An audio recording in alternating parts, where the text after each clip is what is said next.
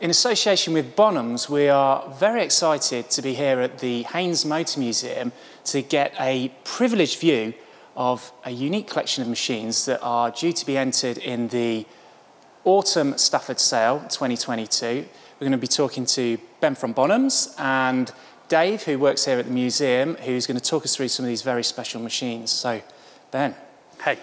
Good to see you again. Good to see you too. Isn't it lovely to be in this space? Superb. Uh, I mean, it's 25 years that the bikes have been here now on display. And I think it's quite sad that, you know, that's coming to an end and they're going to be dispersed. Mm. But it's all going to happen at Stafford on the 16th of October. Stafford, which I know lots of people watching this are going to be familiar with. Mm-hmm. And it should be an exciting day, not least because, you know, just the rarity and the variety and so unusual to have a collection of speedway machines and such significant speedway machines in an auction. In fact, probably not since we had the Iver Major collection have mm. we had anything as special as, as this collection. And I think in particular when we were talking about, so this is the Forshaw collection, and when we heard at the channel that it was going to be a collection of speedway bikes, my initial reactions were, all right, okay, that's quite interesting. And then when we saw some of these at the Banbury Run, when you brought some there to see the pre-war, post-vintage machines, my eyes lit up. And that's, for me, what makes this so special. And, well, we can see here. It's amazing what Richard Forshaw achieved. He's got everything here right from the very early days of Speedway through to the, to the present day and, and the sort of modern incarnation of, of a speedway motorcycle. Very, very focused man. I mean, yeah. it's extraordinary to look at his history files, which have been really, really privileged to spend time with. I mean, you know, part of my job is not just looking at the, the metal, it's also looking at the paperwork and the paper trails and trying to um, deconstruct and disseminate and get the salient points on, on the history of these bikes. Yep. And Richard was a prolific writer with his, with his father as well, Captain Forshaw. Um, the two of them were absolutely, were clearly passionate about Speedway. And he researched, he wrote to, again, when you think about the time he was buying these bikes, so mm-hmm. the collection started, would have started in the mid 1980s. Yep. And he was buying these bikes at a time where there perhaps wasn't as great a appreciation for, for what, they, what they represented. Certainly not the level that we have today in no. 2022. And he was able to contact people who were alive at the time that these machines were being he knew them raced. period and could inform him and absolutely yeah, yeah. and it's just marvelous to sort of pick up letters and actually have first-hand um, experiences and history on some of these motorcycles. So one of the machines that's really caught my eye is this instantly recognisable in that colour scheme, Indian. Very special machine, I believe. Yeah, very special machine. It's been quite a task unravelling the history of that motorcycle, but what we do have is a magnificent paper trail. And from what I've been able to establish, it is, in all probability, the Art Pika, I hope I'm saying that correctly, it might be Peacher, but the American Art Pika, one of the great early speedway riders, um, that was one of the machines that he brought over in 1928 and set records on at Stamford Bridge at the time. I mean, it really, you know, Fantastic, this caused yeah. a sensation. It's a really um, competitive machine. Really competitive machine. And he, um, you know, the audience, you've got to remember, Speedway in those early days, even in those early days, it was attracting huge audiences, filling mm. stadiums. And these guys were international, international stars. What's really interesting about this bike is that Richard bought it as in a, in a fairly dilapidated state, um, missing its saddle, missing its handlebars. And of course, he then starts to do the research, and he managed to speak to the person or have get a letter from the person who owned it, bought it in 1934. so I've got a first-hand account yeah. of this motorcycle. And he bought it, and, and to quote the letter, from a couple of aspiring speedway stars. Now, I don't know who those gentlemen were. Okay. But in that letter, it says, I bought this as the Art Pika motorcycle. The other great thing is Jeff Clew, who, the late Jeff Clew, fantastic guy, good personal friend of mine, he was also in correspondence with Richard about this motorcycle, and we've got a letter on file from 1986 where Jeff's been in correspondence with um, Charles Shuker in America, again, I hope I'm saying his surname correctly, uh, the great Indian historian, where he says it is undoubtedly a factory frame Wow, for this okay. motorcycle. That's Um, so again, you know, two really fantastic primary bits of evidence uh, for this motorcycle. Richard then, of course, embarked on a restoration. Very, very particular restoration. He went to great lengths to find correct handlebars for it. Yeah, they're Uh, quite unusual compared to the rest of the bikes, actually, aren't they? So they're quite distinctive. He, he, I can tell you now, it took a long time for him to find those. yeah. Uh, likewise, the saddle was made to, uh, um, you know, an accurate copy of what it would have originally had. Uh, the owner of the bike in 1934 confirmed that the bike was as he had it in 1934. It survived, a remarkable survivor. Wasn't abused, wasn't chopped about, didn't have the engine taken out and the frame used for other purposes. So exciting, exciting to have the motorcycle in the auction, and the estimate on that bike is 90 to 120,000 pounds. Wow. But it is a very special machine. It's good, I mean, myself, to see one with that full loop frame, which you recognise with those American machines, but not being a board track racer, actually a proper dirt bike, speedway bike, really is interesting to see, and I think Yeah. it stands out. And it's a 350 engine, of course, Yeah. which um, is similar but not the same to the Prince engine. And if you look at catalogue images, and again, Richard had, of course he had, copies of original catalogues on file for it, um, you can see that it is the correct engine for that frame. Extremely rare. So moving from this American-made machine to a, a British bike, a little bit unusual in this collection to see uh, a twin-cylinder machine actually, and a very early one, circa 1928. Yeah, twin cylinder and a two speed. And it's great to have uh, a Douglas in the collection because, of course, it's a local machine Yep. made in Bristol. A no speedway collection would be complete without an example of one of these DTs. No, they were great for grass track racing and, and speedway, as you mentioned. And estimate on this one? Well, very reasonable, 12 to 16,000 pounds. And we've got some great footage of one of these running at the Malle Mile from earlier in the year. So fantastic machine.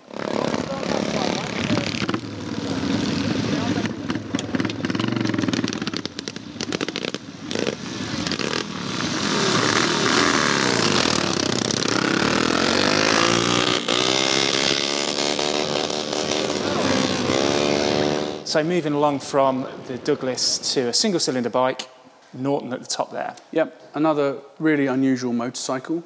Again, so rare.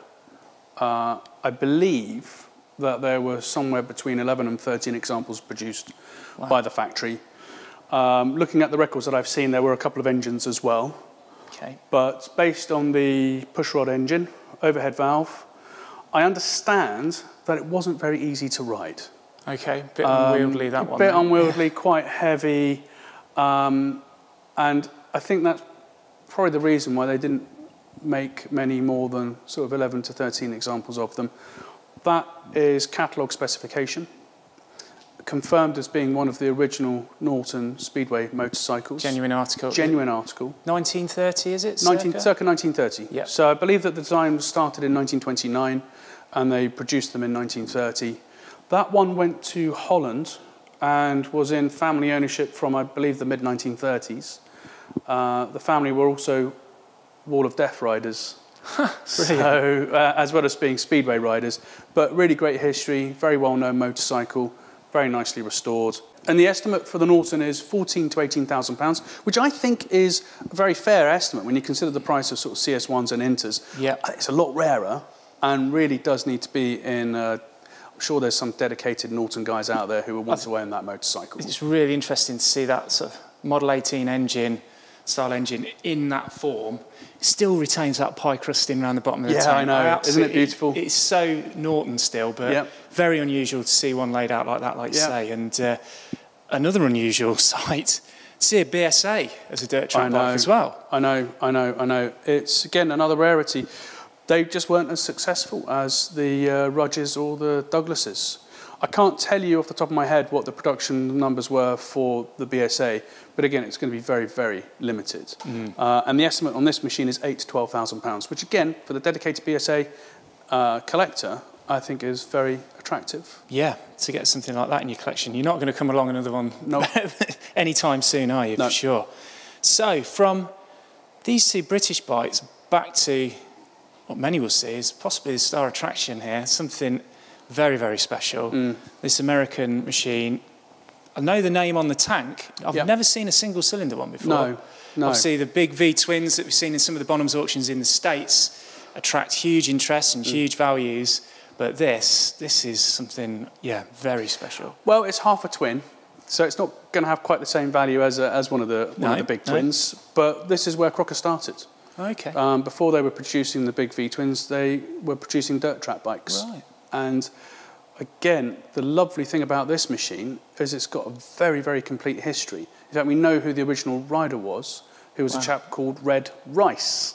And um, from Red Rice, it passed through a number of collectors' hands in the Seattle area before it went into the ownership of a guy called Pete Gagan, uh, former uh, chairman and president, I believe, of the Ameri- Antique Motorcycle Club of America. Okay. Um, very well known figure and personality, great, great guy. Pete swapped it with Richard for a Brough Superior. Wow. That's how badly uh, Richard wanted to have Yeah, a Crocker yeah. in his collection. Fantastic. Now, I can't tell you how many of these survive, but we are talking a handful, probably less than, less than a dozen, um, maybe, even, maybe even single figures. Um, And is this I- a genuine Yes. factory frame? We believe it's all. absolutely. Wow. Um, okay. Again, described by, by Pete Gagan as being one of the most original extant. The saddle has been recovered. Um, the saddle is an original modification by Red Rice, Okay. um, but otherwise it is stock catalogue specification. Unfortunately, when um, again Richard bought this back in the mid 1990s, and at the time there was a VHS tape with a recording of the original rider talking Oh. about his motorcycle. Okay. We've not been able to find it. But it's out there somewhere. It's out there It somewhere. out there I've somewhere. said to the family Ah. to search the attic, to look for that recording. I've even reached out to Pete in America. Um, he's yet to get back to me. So, Pete, if you're watching this, I really hope, you know, give me a shout. I'd really love to find that Oh, VHS tape. Um, but in all the paperwork and documentation, it says all the way along with the recording of the original rider of the motorcycle talking about his bike. Ah, so there's still a bit more. But the history that comes with this is pretty Oh, yes, solid. complete, Yes, it? And it's yes, a known yes, yes. Again, I mean, the extraordinary thing about all these bikes is the level of research that Richard went into. I mean, it's remarkable. I haven't seen anything like it before. that's- And that's saying something. I mean, I've been doing this for sort of 22, 23 while, years. and the files on all of these bikes, he really did take the time to establish the facts and sort out the best and went after them and spent years. I mean, it took him years to acquire this bike, to Mm. prize it out of Pete. And Pete Gagan is, a, is one of the very well known big American collectors. And like I say, it took a Brough Superior to Yeah. acquire that, that motorcycle. probably not many of these in Europe, let alone in America then. So it's, No. like say, handful left. Is it a 500 this bike? It's Is- 500. Yeah. yeah. yeah. Difficult to know where the value is going to be on that. I can tell you the estimate's 100 to 140,000 pounds, which, when you consider that the twins are now selling for 300, 400, 500, 600,000 dollars, Yeah. um, looks like great value. It's a bargain.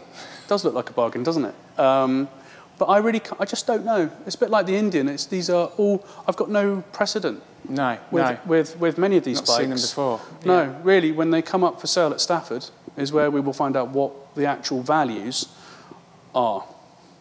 Two beautiful examples here of what a pre-war and post-war Excelsior. Pre-war and post-war Excelsiors, uh, again, very beautifully presented, very keenly estimated, uh, five to seven thousand pounds and seven to ten thousand pounds for the pre-war machine. Again, I expect a lot of interest in those at that kind of level. Um, restored, again, Richard Forshaw restoration, lots of attention to detail, and yeah, beautifully presented. Yeah, excellent. But there's another pair of bikes over here, the Wallaces, that I've seen, and they've really caught my eye. They're probably my favourites of the whole collection, to be honest, Ben. Are we going to talk about those? Let's have a look. So these Wallace machines, a brand I'd never heard of before, but we saw the one with the blue tank at Banbury, but there's also one here with a red tank. So mm-hmm. very similar machines, but both using different proprietary engines. Yep, yep. So you've got the dog-eared Jap, and you've got the overhead Blackburne engine in that one. Again, there is going to be some good history, which will be in the catalogue descriptions, which will all be up online approximately two to three weeks before the sale date. Um, that one was subject to an article, Jeff Clew article in the Classic Motorcycle, which uh, okay. James Robinson and Jane Skayman have kindly provided me a, a copy of. Um, this bike, there is not quite as much detail on, but uh, hopefully, again, when the catalogue comes out, I'm sure there'll be people coming forwards with some more details as to, the, as to the uh, background and where they were found, so on and so forth. Right. Each is estimated at 10 to 15,000 pounds fabulous and some superb detail. I love the front forks and the suspension on those. Uh, mm. Superb, really caught my eye. But then, nestled in the middle, we've got this unusual bike. I know. A two-stroke. Yeah. Fantastic. Yeah. yeah. Scott's uh, two-stroke. Again, I believe it's a very correct bike.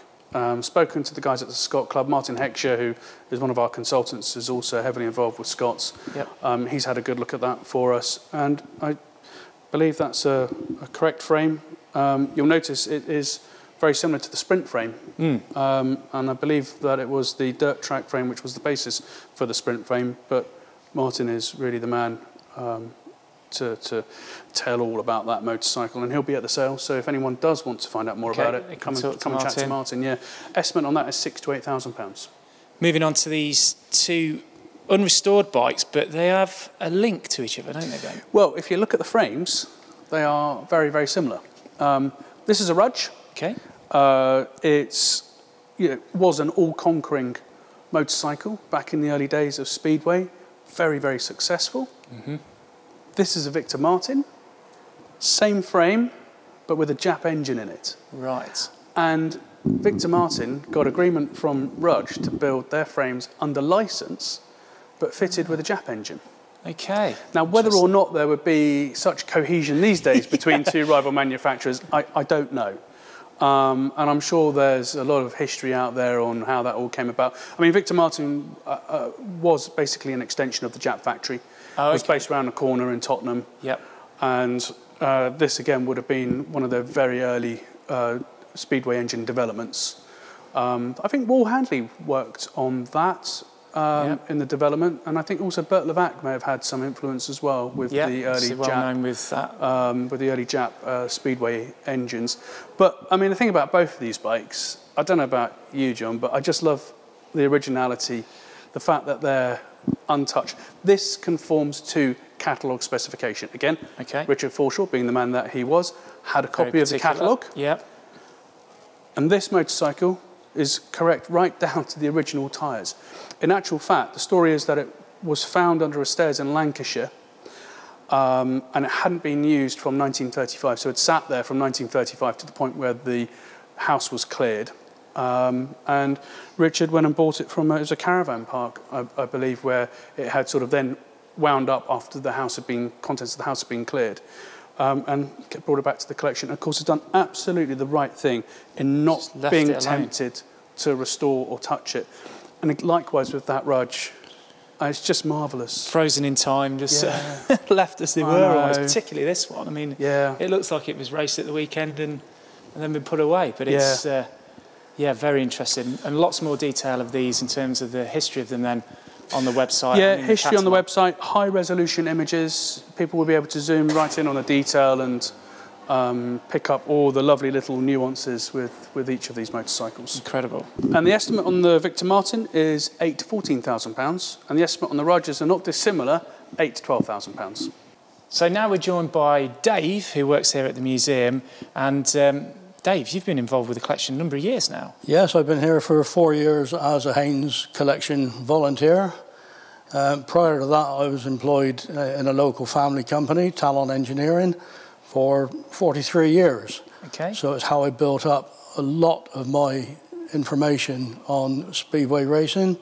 Um, had the privilege to work and sell equipment to league riders, world champions from 76 onwards. Wow. Yeah. And a really great employment time for me with a good company, and my knowledge has been brought forward now to the Haynes Museum collection. And what an honour it must be to, to work with these bikes and some of these fantastic post-war machines. It really is good, yes. Yeah, yeah the post-war machine. Ben obviously has done a, a really good job talking about the uh, pre-war and early part of the collection, but we mustn't forget some of the more modern machines, some of which are quite famous and have had equally famous riders. And this one in particular is one we want to focus on now then. This one in particular is one of my personal favourites uh, because I still have strong connections with the rider.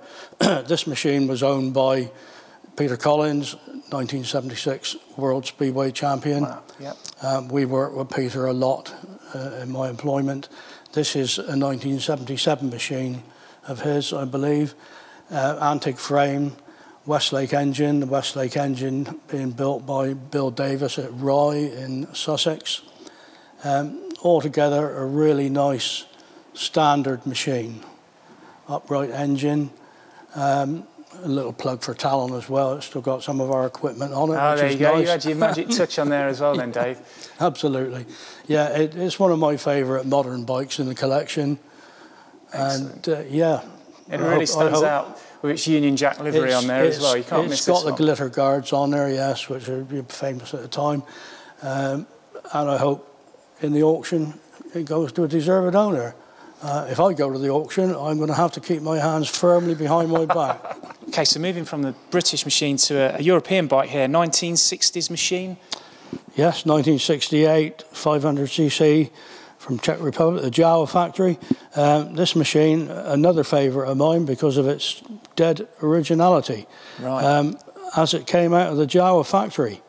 Um, lovely original machine, two valve upright Jawa, banana seat, very, very popular in the 60s. Um, a virtually unburstable engine in terms Yeah. of speedway racing, didn't require much servicing, so very, very popular with the riders. All in all, a good sound machine. So these sort of bikes would have been bought by riders back in the day. With the, with the Jawa in particular, was it quite an easy bike to maintain, popular from a maintenance point of view? They, they were, yes, very, Yeah. very, very easy to maintain, very easy to work on, and generally, our speedway engines go, very, very reliable. Excellent. So from 1968 to the most modern machine in the collection. Yes. We're going to have a look at that one. Yeah, we're going to have a look at that one. So a 1985 machine now then, Dave. Yeah, I'm not exactly certain that's 100% correct, 85, but somewhere around that Okay. period. Um, we've moved on from the upright style of engine Yep. now to the more popular lay-down configuration. The, these engines were produced and mounted in a frame like that to uh, lower the centre of gravity, and that is how current machines are to this very day. This machine is almost similar to any machine that a rider would use now. Wow. Yeah. Um, the only difference being we don't have the fancy engine covers on this one, where the, the riders like to display their various uh, sponsors' names and logos. But um, apart from having some more up to date uh, wheels and things, uh, and a slightly modern, more suspension form, uh, it is pretty much what the riders use today.